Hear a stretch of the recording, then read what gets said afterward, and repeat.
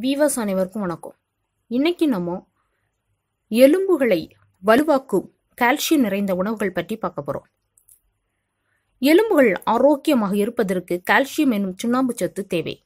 எலும்புகள் உறுதியாக இருப்பதற்கு மட்டுமல்ல நம் நரம்புகள் மற்றும் தசைகள் நன்றாக செயல்படவும் கால்சியம் உதவுகிறது. நம் உடலுக்கு தினசரி ஒன்று முதல் ஒன்று புள்ளி மூன்று கிராம் கால்சியம் தேவை. கால்சியம் நிறைந்த உணவுகள் என்ன? பால் கால்சியம் சத்து மிக அதிக உள்ள உணவுப் பொருட்களில் பாலும் ஒன்று. ஒரு கப் பாலில் இருநூற்றி எண்பது மில்லி கிராம் கால்சியம் சத்து காணப்படுகிறது. சிறுவர்களுக்கு எலும்புகள் பலப்பட பால் கொடுக்கலாம் பெரியவர்களும் அருந்தலாம்.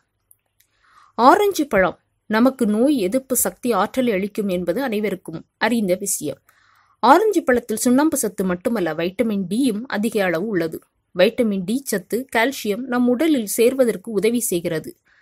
சாதாரணமாக ஒரு ஆரஞ்சு பழத்தில் அறுபது மில்லிகிராம் கால்சியம் உள்ளது. நண்டு நண்டில் அதிக அளவு கால்சியம் சத்து உள்ளது. நூறு கிராம் நண்டில் ஆயிரத்தி அறுநூறு மில்லிகிராம் கால்சியம் காணப்படுகிறது. தானியங்களில் கால்சியம் அதிகம் கொண்டது ராகி ஆகும் நூறு கிராம் ராகியில் முன்னூற்றி ஐம்பது மில்லிகிராம் சுண்ணாம்பு சத்து உள்ளது. ஆகவே ராகி கஞ்சி ராகி தோசை ராகி வெள்ள உருண்டை என்று விதவிதமாக செய்து சாப்பிடலாம். அத்திப்பழம் உலராத சீமை அத்தி பழங்களில் கால்சியம் அதிகம் உள்ளது. ஓர் அத்திப்பழத்தில் நூற்றி எழுபது கிராம் சுண்ணாம்பு சத்து உள்ளது. மத்தி மீன் மீன்களில் மத்தி மீன் மிகவும் பிரபலமானது என்பது எல்லோரும் அறிந்தது.